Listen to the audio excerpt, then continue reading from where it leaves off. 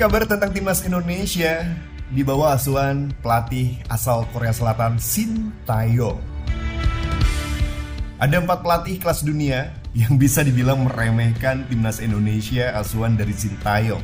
Yang jelas, timnas Indonesia di bawah asuhan Shin Tae-yong pelan namun pasti terus berkembang. Namun ada saja yang meremehkan timnas Indonesia dengan berbagai ucapan. Ironisnya, kesan meremehkan itu dilontarkan sejumlah pelatih yang telah bertemu dengan timnas Indonesia. Siapa sajakah mereka? Ini dia. Satu, Park Hang Seo. Tahu dong, mantan pelatih timnas Vietnam ini menyebutkan kala itu bahwa timnas Indonesia bukanlah tim kuat. Bahkan sang pelatih yang satu negara dengan Sintayong ini mengumbar fakta bahwa dirinya tak pernah kalah dari timnas Indonesia selama enam tahun. Dari tahun 2017 sampai 2023 yang pernah ia besuk bersama timnas Vietnam. Menurutnya, statistik terkadang bisa dipecahkan, namun sejak saya menjadi juru taktik timnas Vietnam, saya tak pernah kalah dari Indonesia. Itu yang dikatakan oleh Park Hang Seo. Kemudian ada Alexander Polking, pelatih dari timnas Thailand. Alexander Polking menyindir timnas Indonesia di Piala AFF 2020. Ia mengatakan Vietnam yang seharusnya finish sebagai juara grup B, bukan timnas Indonesia. Karena Vietnam hanya finish sebagai runner-up di grup B. Dan Vietnam dipertemukan dengan juara grup A Thailand di semifinal Piala AFF 2020. Menurutnya, Vietnam tidak beruntung ketika gagal mengalahkan Indonesia dan alhasil mereka menjadi runner-up grup dan bertemu kami di semifinal. Bisa dibilang bukan hanya saya, tapi banyak orang yang memprediksikan bahwa Vietnam bakal finish juara grup. Itu yang disampaikan oleh Alexander Polking kepada salah satu televisi Thailand. Oh, tapi terbukti kan kalau itu Indonesia menjadi juara grup, bukanlah Vietnam. Berarti Indonesia terbaik dong, Polking.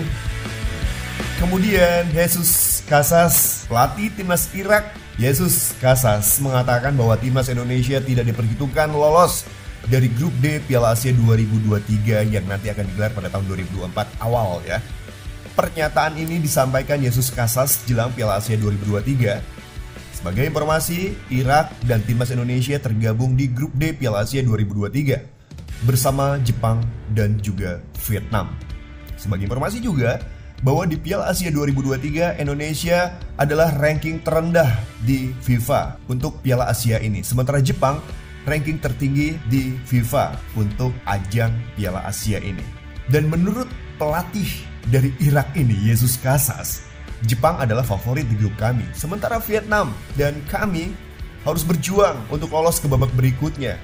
Itu yang dikatakan oleh Yesus Casas mengutip dari laman resmi AFC pada Selasa 16 Mei 2023. Itu artinya sang pelatih ini meremehkan Indonesia karena dianggap bukanlah lawan yang sepadan. Makanya disebutkan Jepang sebagai favorit, kemudian Irak dan Vietnam harus berjuang untuk lolos ke babak berikutnya. Tak menyebutkan Indonesia. Aduh, kita lihat nanti ya. Dan yang terakhir yaitu Lionel Scaloni, tahu dong? Pasti tahu ya. Pelatih asal Argentina yang membawa Argentina menjuarai Piala Dunia 2023.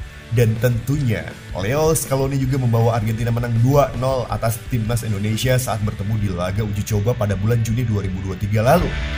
Saat itu, Scaloni mengatakan tak ada pemain timnas Indonesia yang tampil istimewa sekalipun lemparan Pratama Arhan beberapa kali mengancam gawang Argentina.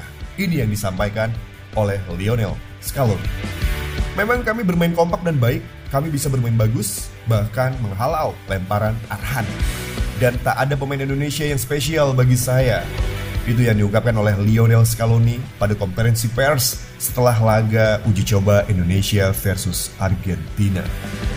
Itu dia kabar tentang empat pelatih yang bisa dibilang meremehkan timnas Indonesia di bawah asuhan Sintayong. Yang jelas di sini Sintayong siap memberikan yang terbaik dan siap menjawab remehan-remehan itu dengan permainan terbaik untuk timnas Indonesia. Maju terus timnas Indonesia jangan mau kalah.